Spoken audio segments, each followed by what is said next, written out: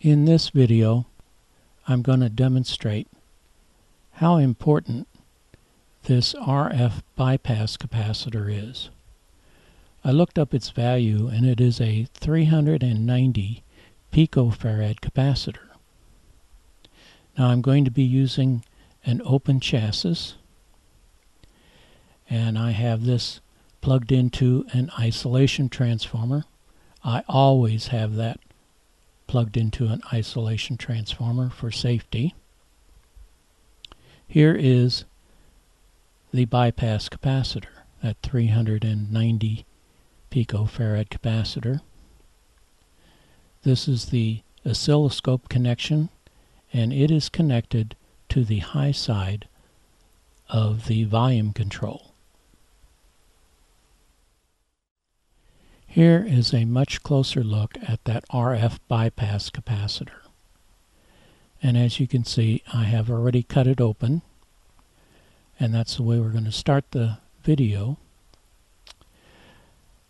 And what I'm going to do is I'm going to take a look at it and also we're going to hear what it sounds like when it is open like this and then I'm going to make that connection and then we're going to be able to hear the difference and also see the difference on the scope.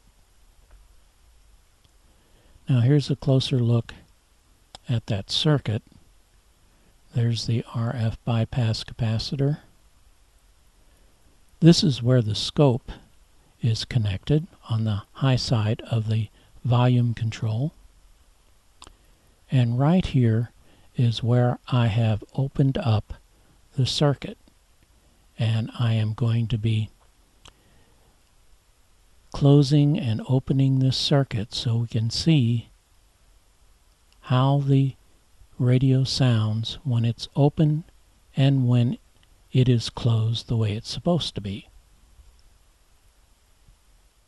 Weekdays at 11 a.m. on the Triangle's home for NASCAR, News Radio 680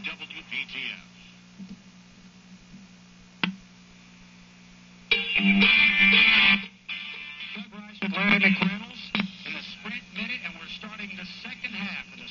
Here at New Hampshire today with the Lenox Tools 301. Larry, what can we expect here at the Magic Mile? Well, I think you have to look back at Friday's qualifying, and I think that's always a good indication of what we're going to see. You, you know, you've got two guys starting on the front row today from Stewart-Haas, Tony Stewart and Ryan Newman, of course, on the pole. It's been so long since Ryan sat on the pole. But quite honestly, I don't know. There's a lot of drivers need to get to victory lane, but when you look at those two guys, they're winless in 2011. They're sitting ninth and 12th in the points. A lot, like a lot of drivers with eight races to go before the chase. Those two need to find victory lane today. Can you feel the sense of desperation among some of these teams starting to ratchet up? Well, I think we're seeing it with personnel changes that's being made. If you look at Greg Biffle, who's still well within reach of the top 10 in points, but only. Now I'm going to rerun the scope video with the wiring diagram. Weekdays at 11 a.m. on the Triangle's home for NASCAR, News Radio 680 WPTF.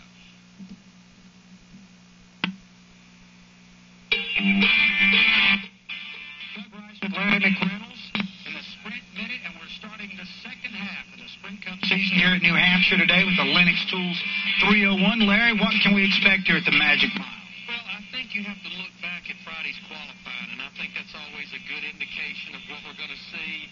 You, you know, you've got two guys starting on the front row today from Stewart-Haas, Tony Stewart and Ryan Newman, of course, on the pole. It's been so long since Ryan sat on the pole.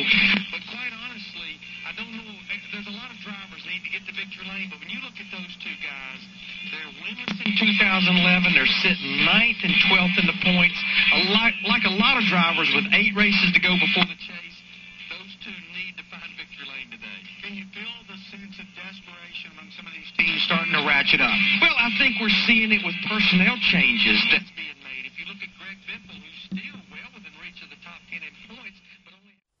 From this demonstration, you can really see how very important that little RF bypass capacitor is to the proper operation of this AA5 radio. Thanks for watching.